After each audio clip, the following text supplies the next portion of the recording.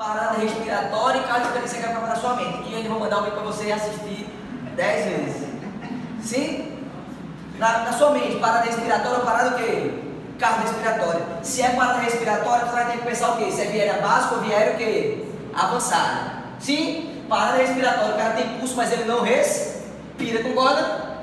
Beleza? Viéria básica. Bebê criança, faço uma ventilação a cada 3 a 5 segundos, que vai dar 12 a 20 ventilações por minuto. E, e se for adulto dele, é uma ventilação a cada 5 a 6 segundos, que vai dar 10 a 12 ventilações por minuto. Isso é via aérea básica. No adulto, uma ventilação a cada 5 a 6, que vai dar 10 a 12 ventilações. No, no bebê na criança, uma ventilação a cada 3 a 5, vai dar 12 a 20 ventilações.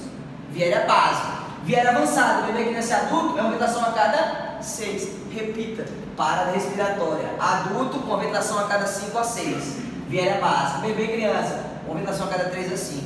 E se for viária avançada, uma ventilação a cada 6. Beleza? E se for parada cardiorrespiratória, ei, a compressão é contínua ou a compressão não é contínua? Outra coisa, é viária básica ou viária o quê? Avançada. Porque se for viária básica, tu pode fazer desse jeito ou desse jeito. Agora se for viária avançada, você pode fazer desse jeito. Você ligou? Básica. Compressão contínua, viéria básica ou avançada. Bebê, criança ou adulto, vamos fazer sempre desse jeito. Compressão contínua, não para de comprimir nem para de ventilar. Qual a frequência da compressão? 100 a 120 compressões por minuto. E a ventilação? Uma ventilação a cada 6 segundos, vai dar 10 ventilações por minuto. Tranquilo?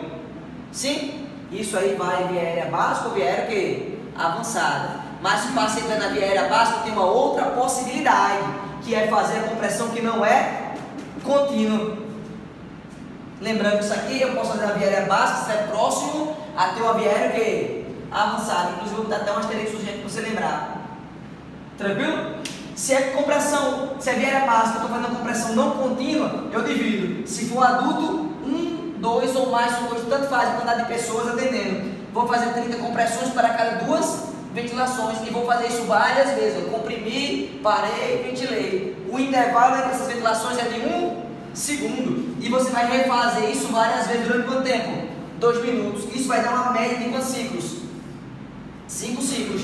Agora, se for bebê ou criança, preste atenção, porque se tu estiver sozinho, tu atende igual ao adulto. Agora, se tu estiver acompanhado duas ou mais pessoas, tu vai fazer quantas?